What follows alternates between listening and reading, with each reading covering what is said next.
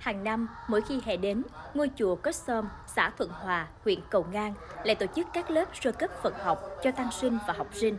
Năm nay, chùa mở lớp sơ cấp năm 2 có 23 tăng sinh và học sinh. Việc mở lớp học này nhằm giữ gìn chữ viết và nét văn hóa của dân tộc Khmer. Con cháu đồng bào Phật tử mình cũng rất cố gắng học tập, tìm hiểu cội nguồn và nền văn học của dân tộc. Giáo viên cũng rất quan tâm đến việc giảng dạy cho tăng sinh, học sinh. Bà con Phật tử rất yêu chữ viết và tôn giáo của mình, nên luôn khích lệ, hỗ trợ tinh thần cho tăng sinh và học sinh.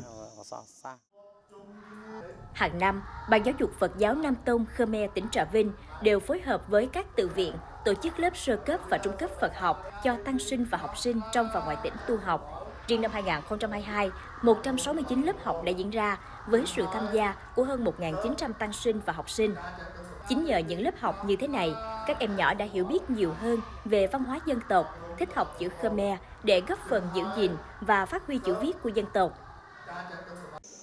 Em yêu chữ viết của dân tộc mình nên em sẽ cố gắng học tập thật chăm chỉ để giữ gìn chữ viết của dân tộc mình. Nguyện vọng của sư là cố gắng học để góp phần làm cho tiếng nói, chữ viết và văn hóa của dân tộc ngày càng phát triển.